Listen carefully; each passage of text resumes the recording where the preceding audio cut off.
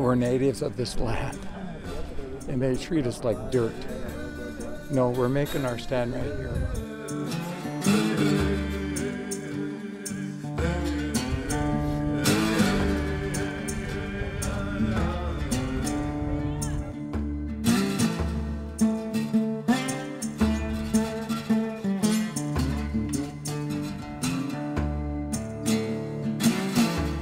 It's not a not a matter of if a pipeline spills, but when a pipeline spills. You have significant risks to a vast amount of drinking water supplied to North Dakota, South Dakota, Iowa, all the way down.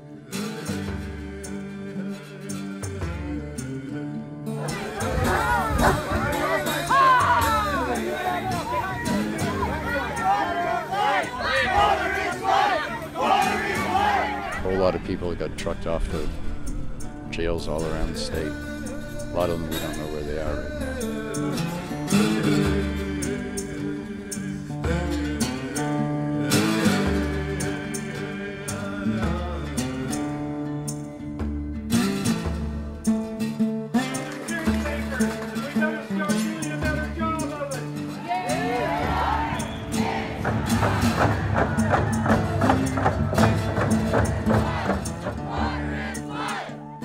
What you see here in this camp right here is merely just a part of the growing climate justice movement.